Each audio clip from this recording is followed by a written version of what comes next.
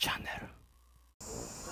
はいどうもこんにちは。走れる介護士チャンネルの監督です。王さんですはいということでですね今日は、えー、皆さんにあの大事な短距離を走る上ですごく大切な要素を教えたいと思います。それは前傾姿勢です。前傾姿勢といったらまあ 100m でいうとまあクラウチングスタートで出ますよね、はいはい、でクラウチングスタートで出て1次加速2次加速その区間がまあ前傾姿勢してると思うんですけどもよく皆さんの質問でもあるんですよ。前傾姿勢ってどうやって作るんですかと、うん、僕全然前傾姿勢キープできませんとかすぐ浮いちゃいますとか。ありますね、うん、そういう方に今日はね必見の練習方法をねあのいくつかね分けて今日はあの皆さんに紹介していきたいと思います。であの舞ちゃんと今カメラマンの舞ちゃんと王さんに一緒にやってもらいながら、あの皆さんにあのイメージ作りしてもらったらいいんじゃないかなと思います、はい、では早速、はい、ステップ1からいきましょう。よろしくお願いします。はい。では早速ね、えー、スピード1じゃねえわ。ステップ1からやってスピード1じゃない。やっていきたいと思いますでまず最初にですねこう、まあ、壁があればどこでもいいでございます、はいはい、で、まあ、ちょっと下は凸凹してるんですけれどもあの皆さんはねピシーッとまっすぐねあの地面が整ってる場所でやってもらった方がいいと思います。でまずこの壁の前で気をつけしてもらってもう一度前の方がいいかな、はい、気をつけしてもらってそのまま姿勢を崩さずに前に倒ってもらいます。はい。でこの時手を伸ばしてもらいます。はいこの時の、あのー、手にかかる圧を確かめたいんです。なるほど。前傾姿勢をするということはどうしてか。それは早く前に進むためなんですけどもこの前に進むという力をまず手で感じてほしい。だからまずじゃあ悪い姿勢をいっぺん取ってもらいましょう。お尻お尻を後ろに引いてもらって。はいこの感覚とま、はい、えー、っすぐにしてもらってこの感覚。でちょっと後ろの方に反ってもらって後ろの方反るでまたまっすぐどこが一番力が加わったかっていうのを感じてほしいだいぶ違うでしょだいぶ違います特に特にですよ特に後ろ。お尻引けた時なんてもう全然もうもうほぼほら手離せるぜぐらい、うん、ってことは前に進まなきゃいけないのに手離せるぐらい言ったらここで安定しちゃってるってわけです。前に、うん、前に崩れるという力を使いたいというそのためにはこれじゃなくてまっすぐおへその位置がおへその位置頭の位置足の位置が横から見て一直線になってるっていうのをまず作らなきゃいけないということ。これを感覚的に覚えてください。でよ誰か友達とか、まあ、練習パートナーとか先生でもいいです。横から見てもらってまっすぐなってるかっていうのを確認してもらう。これがステップ1です。でステップ2はここから足を動かしていきます。で足の動かし方なんですけど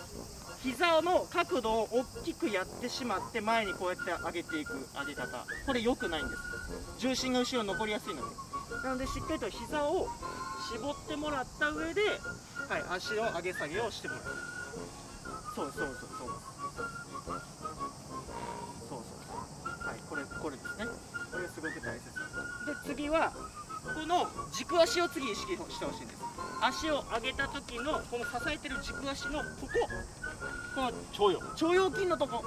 ここがこうやって屈曲してないようにまっすぐ伸びてる状態を作ってほしい。そうすることによって地面にかかる圧が強くなる。イコール地面に対して強い力が加わっていくということ。です、うん、今今みたいにちょっと試してやってみると全然地面にグッてかかる圧変わります？はい変わります、うん、曲げた方が多分抜けると逆にここら辺にあなるほど。来ちゃいます、ね、このすね、はい、すねというかふくらはぎの上の方にね。来ちゃい。ますねでピンって伸ばすことによって地面にグッて力が入るということになります。でなおかつここの腸腰筋が伸びた伸びますよね。でその後に伸びた後に足切り替えますよね。ってことはここが縮むってことじゃないですか。伸びたところから縮む。前言いましたよね。身長反射。ですね ここで起きることによって強い力を発揮すると。それを使えば前へのスイングスピードも上がってくる。それを意識してもう一回ちょっと足足上げしてみましょう。ついた時にここが入背中が入って腸腰筋が伸びるっていうところを意識して足をそうそうそうそうはい。でこの時にもう一つオプションオプションとして後ろの人がこうやってここの、骨盤のちょっと出っ張ってる骨のとこ持ってもらってこうやって後ろにちょっと引っ張ってもらうことによってさらにこう負荷が負荷がかけることによって前傾する意識をさらに強めることができる。そうですね。できますよね、はい、前に行こうっていう意識がさらに強くなって、はい、でここに地面に対する力もさらにこう強めることができると思う。これもすごくおすすめです。別に道具いらないです。後ろの人に。人がいればいい。人がいなかったら道具買ってください。そうですはい。ここまでが、えーステップ2 3になってくると今度はあのちょっと前後に足を開いてもらってですね。クラウチングスタートするときに絶対ちょっと前について押してい。きますよ、だから前後に足が開いた状態から力を前に加えていくという練習を次その場でやってはい。でもうちょっと後ろで,、であんまりここ広めてしまうとこう前に行った時スペースがないのでちょっと後ろ目に下げてもらって前後に、うん、下げてもらってこのような形を作るでそこからこっちの前足でプッシュしてその動きをプラスしてここの前のスイングにつなげていく。はいそうそうそうこの動きですね。この軸足の腸腰筋が伸びるということを意識する。で伸びていくに合わせてこっちが前にスイングされていく。でここの脊脊柱のところがしっかりとグッと入っていくそうそうそうここ入っていくでこれもさっきと同じく、えー後ろから牽引してあげるとさらにこう前に行くような意識が強められますし引っ張る人はさっきよりちょっと強めに引っ張ってもらっても大丈夫ですだからこう前後に足をつくことによって前に行く力がね増すのでそれはい OK こういうことですねでですねすごく大事で確認してほしいこと。この設置した時におへそあるでしょ、このおへそがつま先の位置。をまっすぐ下に下ろしたらつま先にきある。この場所をまずセットしてもらうってことがすごく大切。で次に大切なのはこの時に構えた時のすねの角度。このすねがこうなってしまうと前から後ろに伝える力が弱くなってしまうのでうん。そうすねの角度が飛び出す角度になると思ってもらっても構わないぐらいです。だからすねの角度をなるべく地面に対して45度にする。でおへその真下つま先でこのままあの押していくと。そうするとすごい効率よく前に体が投げ出されるというか移動できるようなことになってますおへその位置すねの角度そして姿勢だと、ね、これをあの家の中でももちろんできるのでねぜひあのやってもらうといいんじゃないかな。感覚作りにはすごくいいんじゃないかなと。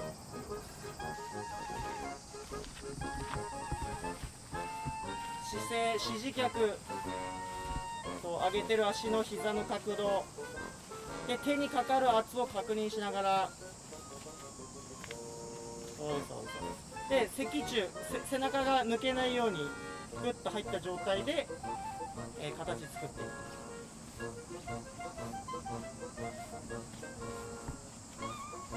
で骨盤のスイングもちょっと意識してあげるとちょっとレベルは上がってくるかな。骨盤の前後の動きと、えー、支持脚のグッて支える力が合えば結構強い力で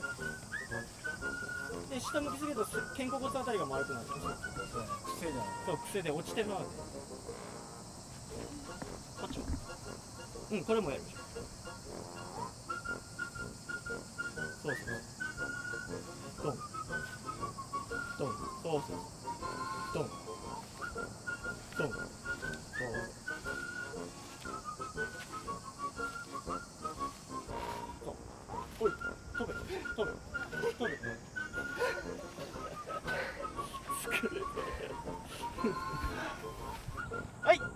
では早速ねあのその場で前傾姿勢を作る練習をしました、次は早速ねもういきなりかもしれないですけどもスターティングブロックを使って前傾姿勢を作る意識づけだったりとか練習を今からしていきたいと思います。で、えー意識づけとか今今やってた通りなんですけども、まあ、クラウチングになるとまたさらにね重心が低くなるということもありまして難しいこともあるので一一回ちょっと2人にやってもらってですね動きを作っていければなと思います。じゃあ早速セットしてもらいましょうはい、この時にですね注意してほしいのが、えー目線なんですね。でよく質問にもあるんですけども目線があまりにもこう真下この線線とか逆にもっと線より内側の方を見てしまうと背中が丸くなってしまうということがあります。だから姿勢を作るためにも目線はブロックから1メートルぐらい先のところをずっと見ていくようにですね。そこに置くと姿勢自然とこう姿勢が整うことになります。なのでこの目線を合わせたまんま腰を上げてまず出てみましょう。かそうそうそうそういいよ。えー、今視線を意識してもらいましたで次にあの意識してほしいのが1歩目の設置場所です。一歩目の設置場所。なんでかっていうとすごく一歩目の設置場所すごく遠くについてやろうと思ってる人多分中にはいるんじゃないかなと思います。そうしてしまうことによって体よりはるかに足が前についてしまう。そうすると力を力がまあ言ったらブレーキングがかかってしまうしあの上から下のトライになってしまって体が浮きやすくなってしまうんですね。だからなるべく一歩目は自分の、まあ、言ったらブロックの近くに設置するような意識を持ってもらった方がいいかなあんまり遠くにやってしまうと今みたいなことが起きてしまうよということです。あとあの意識としては頭の位置がどれだけ前に置けるのかってことがすごく大切で目線がこうやって前に向いてるのに用意ドンってなってしまったらこうやって顎引いて小さくなってしまったらダメだよ。目線を前にしたまま頭からドンって前に行くっていうイメージがすごく必要だという。であと一つさっき言ってたすねの角度。1本目のすねの角度。1本目のすねの角度が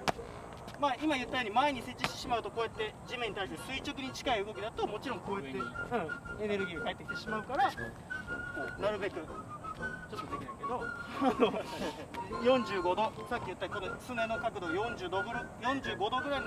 角度で設置できるような位置。それをあの皆さんの中で動画撮りながら確認してもらえればあの綺麗な前傾姿勢が作れて飛び出していけるんじゃないかなと僕は思ってます。ではそこを踏まええーっと目線すねの角度頭からいく足のつく位置この4つをねあのしっかり意識して、えーやってもらえれば、えーいいんじゃないかなではそれを踏まえてもうもう一度やってもらえますかでいあの目線はこうやってあんまりこう顔を上げてしまうと姿勢崩れるから自然とこのことだけにしまして目線は普通に1メートル2メートル多いですね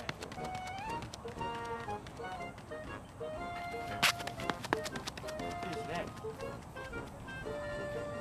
といった感じでございます。えっとあの本当に意識一つ変えるだけでも全然こう姿勢は変わってきますし前傾姿勢をキープしていくということに関してはやっぱり疾走速度がある程度高いものがないと前傾姿勢はキープできないんですけどもあの最初の飛び出しの形とかあの出だしの10メートルぐらいまでは綺麗な前傾姿勢は皆さん作れると思うのでぜひ今説明したことをね実践してもらってあの